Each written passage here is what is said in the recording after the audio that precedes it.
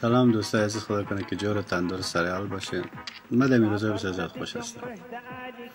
خوش به خاطر از که جنرال صاحب دوستم امیت طالبا را قلبه کده روان است گفته خودش امیت قلبه کده روان است که دل ملت افغانستان مردم افغانستان یخ کرد فهمیدن که در دولت ما شکر یک نفر داریم یک مرد داریم که از ناموس ما از خاک و از وطن ما دفاع می‌کنه نه مثل اشرف غنی و دکتر عبدالله وارد زیر آلاشه میشینه که کی امر بادارشان آیسای بیا و اطاعت کنه صد زدن زرگر میگه یک زدن آینگر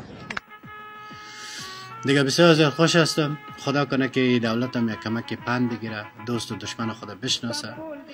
دیگه ما افتخار می‌کنیم که همچه وطنی مثل جنرال دوستم دارم.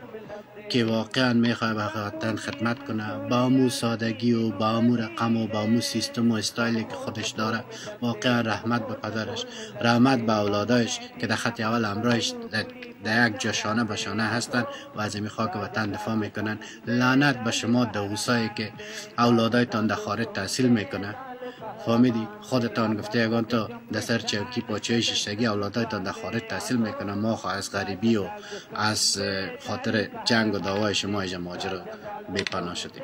اگر باز کدام وقت دلیل گفتین که تو چرا خارج هستی یک یادآوری. دیگه جنرال صاحب دوستم زنده باشی دوستت داره. صدقه خاک پایت یعنی چهار دانه کسایی که گفته یگان تا سبز و سرخ و نارنجی و گلابی خودم میگید زنده باشی.